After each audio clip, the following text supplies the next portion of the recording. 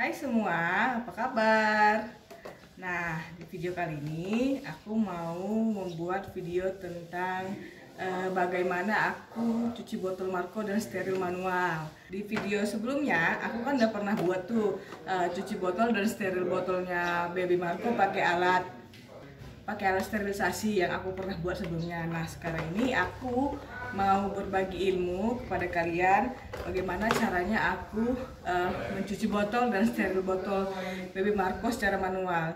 Jadi uh, ikutin terus ya. Nah, ini ada beberapa botolnya yang udah dipakai baby Marco. Aku udah ada nih ada sekitar 5 botol yang udah dipakai tadi malam. Nah, ini alat-alatnya aku siapin. Aku pakai sebenarnya ini bukan sweetie ya dalamnya ini aku udah ganti sama sweet salt karena aku lebih senang pakai sweet salt dia uh, tidak terlalu tajam uh, ba apa baunya tidak terlalu tajam dan tidak lengket di kulit uh, jadi bilasnya gampang. Nah ini dia sikatnya. Seperti biasa kalau orang yang uh, yang punya baby pasti punya sikat cuci botol ini.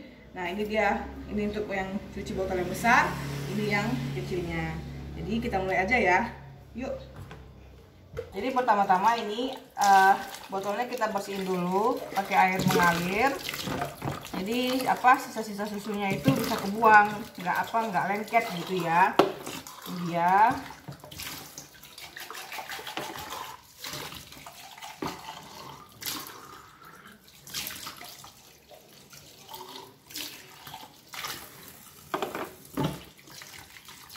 apa dipisahkan antara dot sama penutupnya ini. Jadi kalau ada apa namanya sisa-sisa susunya jadi bisa kebuang nggak nempel. Karena kan itu bahaya ya mams kalau apa uh, nempel jadi dipakai anak kita lagi kan bisa jadi nanti jadinya bawa penyakit ada virus dan bakteri. Nah biasanya aku masukin dulu nih apa uh, sabunnya ke dalam uh, embernya ini nah ini udah cukup. Terus aku masukin aku isi air.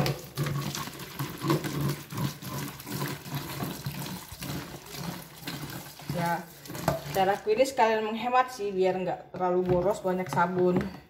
Nah aku masukin. Ya udah tinggal dicuci gini aja mams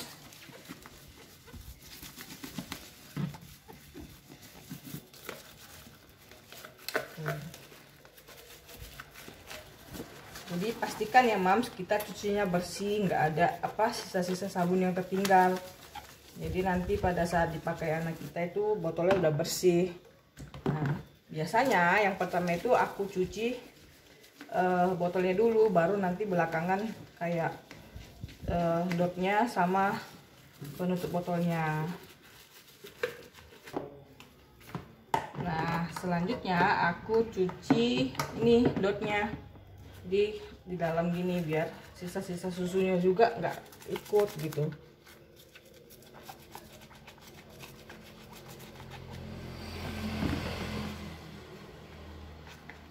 Jadi pastikan ya mam saat kita cuci botol bayi itu kita cucinya dengan bersih dan diusahakan pakai air yang mengalir. Kalau bisa bilas beberapa kali dan pastikan eh, apa sabun-sabun yang tertinggal tuh udah bersih kita cuci sehingga aman dipakai bayi kita. Jadi tadi setelah kita pakai apa kita buat kita cuci dengan sabun sekarang kita bilas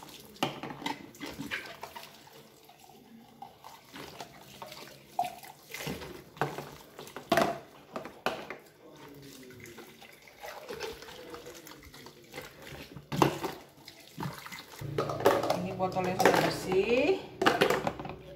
Tuh sudah bersih semua. Nah selanjutnya selanjutnya kita mau uh, rebus botolnya. Jadi kan tadi kan aku bilang mau cuci botol dan steril botol susu baby Marco secara manual. Nah biasanya itu aku rebus botolnya uh, memakai panci selama kurang lebih 5 sampai 10 menit. Nah ini botolnya tinggal dimasukin aja satu-satu disusun di sampai semua masuk. Ini sudah dimasukin semua botolnya. Oke mams ini udah mendidih jadi kita masukin. Nah jadi ini sudah bisa kita angkat ya. Ini aku pindahin ke wadahnya yang tadi satu persatu.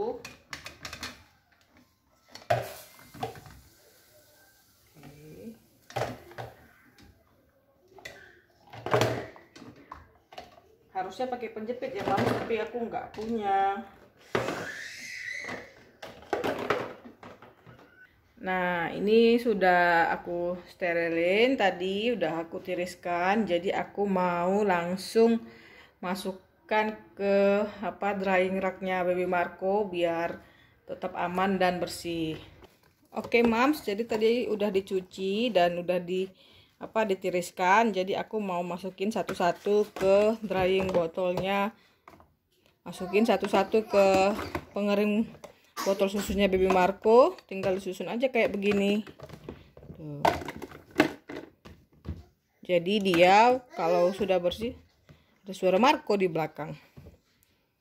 Jadi kalau dia sudah bersih tetap aman.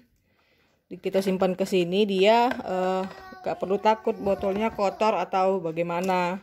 Ini sudah pasti aman karena dia setelah kita cuci bersih dia airnya akan ke kebuang ke bawah, ditiriskan ke bawah. Nah, ini dia penampakan botol-botol susu yang tadi udah aku cuci dan aku rebus dan botol-botol Marco yang lainnya. Jadi setelah tadi aku uh, cuci, aku bersihin dan aku rebus, aku simpan di sini.